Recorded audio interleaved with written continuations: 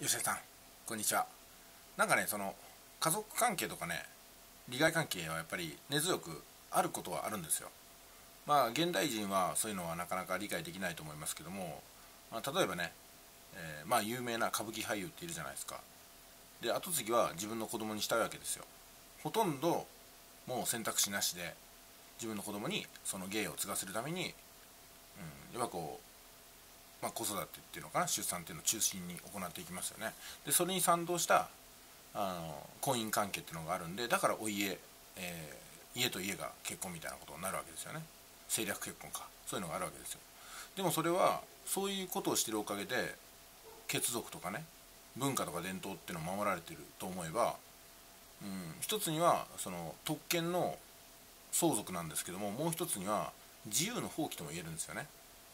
で多くの方はそういうこと関係ないんで、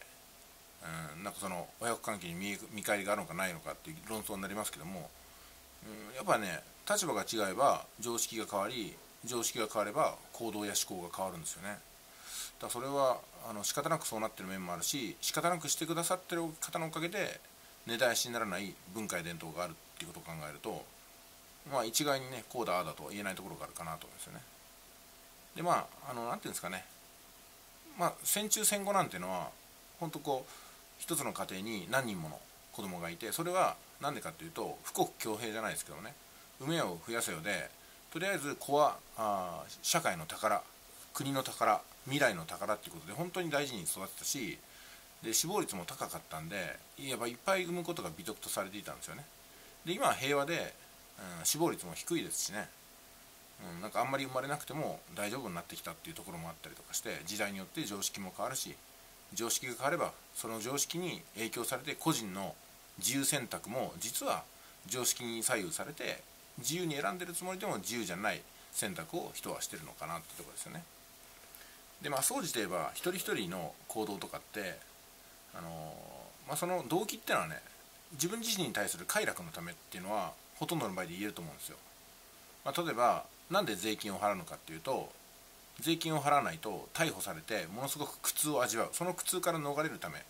その苦痛と苦痛がない状態いわゆる快楽ですよね。ああよかった。払っておいてよかったって思われる。その動機のために税金を払うってこともありますし誰かに何かをしてあげるっていうのも実はその人が喜ぶ顔が見たいからするというね。それを利己的って言ったらもう何もできないんですけども、うん、例えば犬がその辺いてね。じゃあチョコレートのかけらとかあげるじゃないですか。チョコレートのかけらあげないかもしれないけども。まあパンくずとかあげるじゃないですか。そしたらワンちゃんがクンクンとか言って嬉しそうに食べるところを見てちょっと微笑ましくなる。それもまたねあの自分のためにやってることではあるんですよ。犬が求めてるわけでもないし誰かがそうやれって指示したわけじゃないけど自然にそうなってしまうっていうかね。だから損得だとか、うん、合理性だとかねなんか利回りだとかね、まあ、そういうことを考えるの多分一部の人間だけで通常は感情の赴くままにやればいいんじゃないですかね。目の前の人が困っていれば何かやる。目の前の人に求められたらあげる、うん、施してあげるとかね。お互い様だと思いますし深く考えなくてもまあ例えば恩返ししたいなと思ったら返せばいいしそれ思わないんだったら別にしなくてもね責められることはないと思いますただ客観的に見て恩返しをする人しない人を並べてみた時にした人の方がいい人には映ると思うんですよ、うん、あとはね、うん、しなくてもどってことないんじゃないの？っていう人もいるだろうけどもそれも責められることではないんでね、うん、ただどうなんですかねなんかこうああそこまでになったんだっていう風な安心感とかっていうのはまああるんじゃないかなと思うんですよ。してほしいとは思わないけども結局当てにはしてないけどもでも当てにしてない人からねされたことっていうのはうんやっぱりしみるものがあるのかなと思いますし当てにしないよって言って何もなかったらほらねってなってね、まあ、それはそれでマイナスポイントにはならないんですけどもうんまあどうなんですかね、まあ、吉田さんは立派ですよね。やっぱこう車をプレゼントしてあげたとかね、うん。まあ、車を、うん、必ずしも欲しがってるとは限らないんですけどもでも他に何をすればいいか思いつかないじゃないですか、うん、まあだからできる限りのことをやって、えー、それで何ていうんですかね。どうやってもやり残したことがあるんでその時は堂々と負い目を持てばいいんじゃないですかね。負い目があるうちはうん、誰かに何かをしてあげるっていう気持ちはなくならないでしょうしね。自分の倫理観とか正義感に、えー、きっと、